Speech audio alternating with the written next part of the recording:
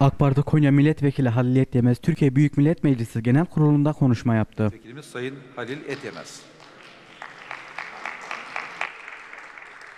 Süremiz 3 dakika Sayın Etyemez.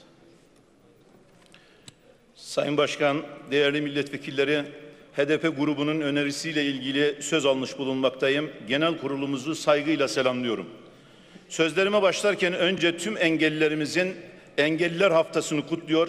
Bu haftanın engellilerimizin engellilerimize yönelik toplumsal farkındalığı ve hassasiyetin artırılmasını temenni ediyorum.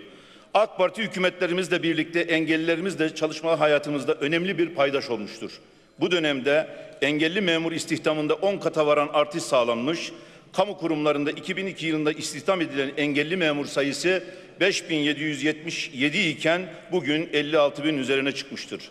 Değerli milletvekilleri, ülkemiz 17 yıllık AK Parti hükümetleri döneminde büyük değişim ve dönüşüm süreci yaşamıştır. Çalışma hayatımızda da aynı gelişim ve değişimleri sağlayarak önemli değişikliklere imza atmış durumdayız. İşçinin hakkının alın teri kurumadan veriniz anlayışı üzerine inşa ettiğimiz çalışma hayatı kültürümüzün daha iyi noktalara getirilmesi hususunda müzakereci, demokrasiyi içselleştiren tüm işçi temsilcileriyle iletişim kanallarımızı hep açık tutarken ekonomisiyle, istihdamıyla büyüyen Türkiye'mizde işçilerimizde bu artan refahtan paylarını almalarını sağlamak en temel amacımız olmuştur. Bu çerçevede son 10 yılda oluşturduğumuz 7 milyon ila- ilave istihdam rakamı Avrupa Birliği'nin son 10 yılda oluşturduğu ilave istihdam rakamının üzerindedir.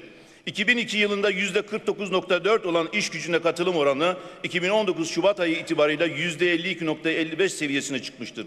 2002 yılında yüzde 42.9 olan istihdam oranı son açıklanan istihdam verilerine göre yüzde 40.8 olarak gerçekleşmiştir.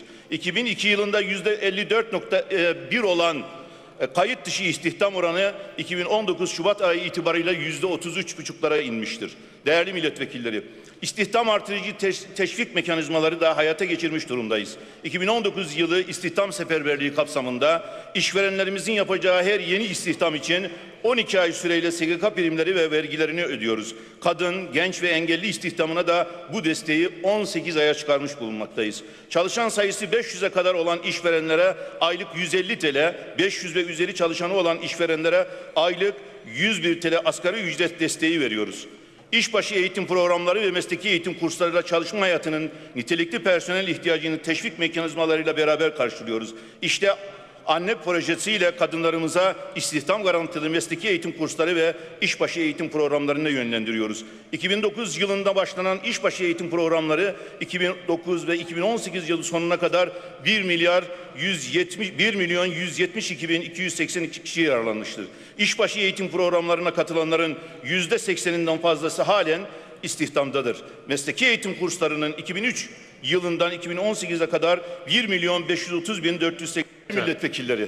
Cumhurbaşkanımız Sayın Recep Tayyip Erdoğan'ın liderliğinde 17 yıllık iktidarımız döneminde olduğu gibi bundan sonra da üretimi destekleyerek katma değer yüksek ürünleri üreten girişimcilerimizi teşvik edecek, işçimiz, memurumuz ve tüm çalışanlarımızla birlikte çalışma hayatımızı daha iyi yerlere getirme gayreti içerisinde olacağımızı buradan belirtiyorum.